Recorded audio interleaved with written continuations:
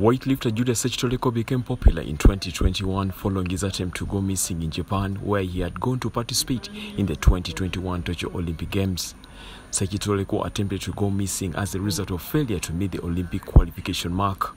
It's upon this background that Uganda Weightlifting Federation suspended him from participating in a weightlifting event upon further notice.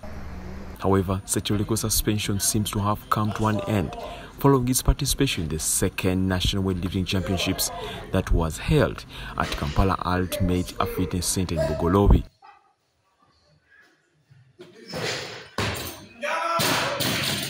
No Ssekitoleko lifted 227 kilograms to finish second in the 67 category.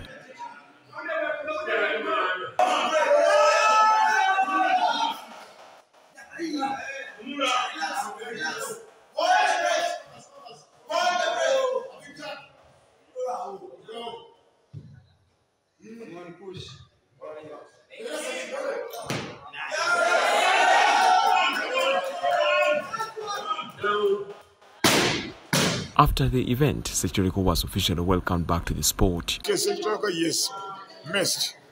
But going through targets that he has faced and apologized to Uganda Weightlifting Federation, to my disciplinary committee. I sent him even to Technical. We have decided to forgive Ssekitoleko. And the ceremony he has done for his, for his forgiveness is to welcome welcoming us in this very nice gym where he's working confidentially from his uh, masters to see that we have a competition here to welcome him back. I'm really happy to be back in this game, Uganda Olympic uh, weightlifting, and then I'm so happy to be here to come back in these championships.